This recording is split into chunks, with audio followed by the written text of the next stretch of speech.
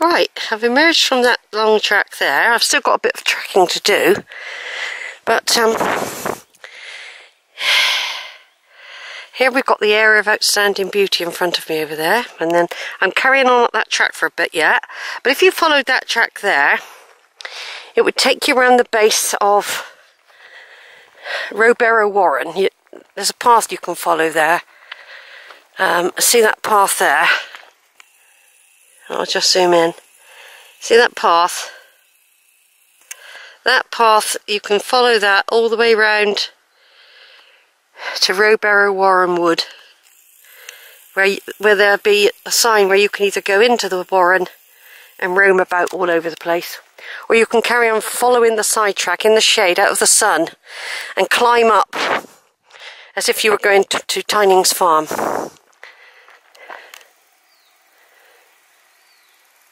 So I, so that's what stage we're at at the moment. I've got to go up a little bit further in the cool still because I'm going to be joining um, the lower track across the area of outstanding beauty, the Black Down Hills opposite, if you like, Burrington Combe, which has a road running, separating us. Running up through the combe is a road. I'm on one side and Burrington Combe is on the other.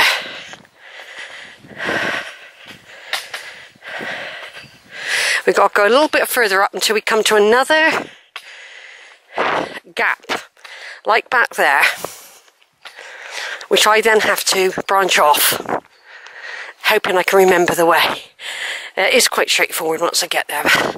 You, I can still do it, but it's longer. If I decided to just stay on here, this takes you down to Burrington Combe, by the way. If you stay on this track all the way, and it goes down quite steeply at one point, it would take you down to where there's, um, I think there's a pub, there's a cafe. Not far away would be the church. Uh, places where you can climb up the other side of Burrington Combe, or if you want to walk to Bleeden, or Black Blagdon, I mean, there are lots of other walks. I always get a bit muddled up when it comes to some of the open spaces, especially in the in the summer. especially if I haven't done it for a while. See, this is an open space, but I don't know if it's this one I've got to branch off. Because otherwise you can end up walking into a load of bracken, you see. So, for example, look, there's no way, there is a path there, that could be the one I should follow. We'll just have a quick look, wait a minute. But otherwise you've got to walk through lots of uh, bracken up to your neck almost. We just have a look. No, I'm not going to go through there. I'm not going to go through there. If necessary, we'll do the slightly longer route, which is keeping on this wide path and then going up a bit. No, I, I don't think that's the one back there anyway. I think it's further up. I think it's a bit further up near uh, another sort of tree. It's not far from around here though. You see there's a there's a track there. I, I've just got this feeling it's up here though. What I'm saying, there's loads and loads of little tracks that bend off, but you can end up in very enclosed spaces with the bracken. So I've got a feeling mine is a bit further up. Now in in the winter you can see it more clearly. The bracken's all died down and you can see all the tracks. I've just got a feeling it's a bit further up my one. But anyway, you can still do it this way. You can still do it. I've got a feeling my branch off here, yeah. I reckon I do. Yeah, this is where I branch off. So you've got to remember that. now, if you carry on that way to the left, on the wider track, that'll take you down to Burrington Combe you'll join up with what I call the parade, a big track that comes down from the top of the area of outstanding beauty up there. As you can see, the ferns are very high. They're probably full of adders. And the sort of tracks I'm going to be following across now will be at times narrow. But I'm hoping mainly like this. So this is just to give you an idea of this video. I don't know if this is four or five. I'm not sure. I can't remember. And of course in the winter as well this will be very muddy. All these little gullies will be filled with water.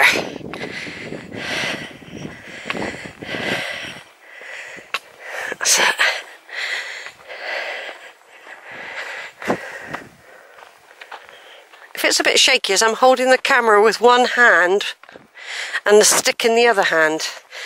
Um, I tend to put the stick under my arm when I'm doing photos and occasionally I will walk and hold the camera steady, steadier.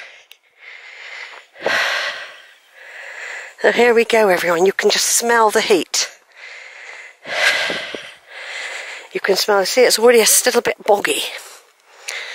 Still a bit boggy, look how and there are bogs here. There's also potholes that you could disappear down, so got to be very careful to keep to the main tracks. Yeah, I always remember this little bit under the trees. Now you see,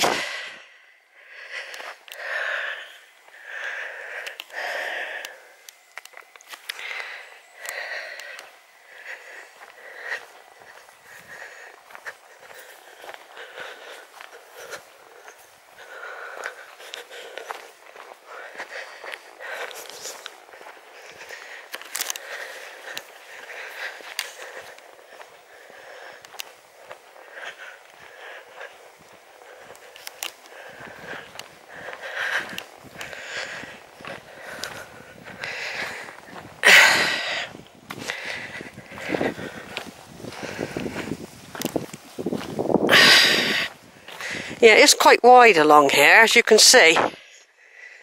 And there's a nice view over there, look. There's a few people out. Right ahead of me now, we've got Burrington Combe.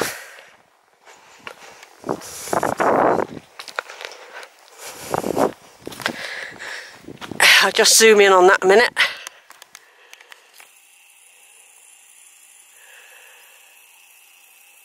There's Burrington Combe, that's a good view of it from here. You can walk on that side, by the way.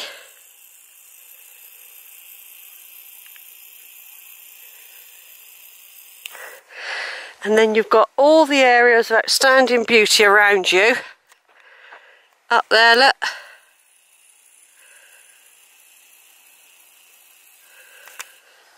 All across the top there.